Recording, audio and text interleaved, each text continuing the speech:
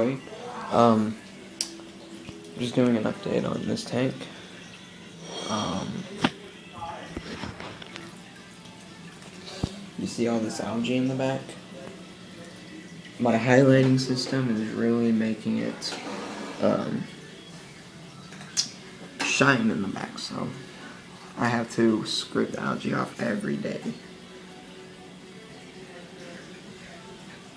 Very annoying, but it's it's worth it because these plants are doing awesome. These cobas, sprites, those are doing good, right? Tell me if they are. See, it just hangs right there from the top. Alright.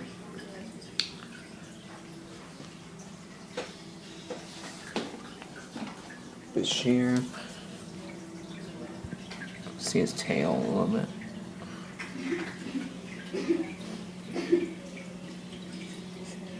Yeah.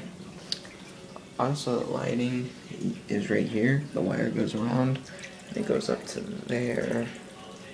See? I clipped, I stuck it to here now. Um, so I could just, can be off like that.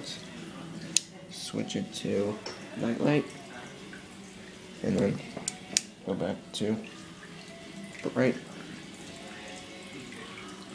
So, there. Have a good day, everybody. See you guys later.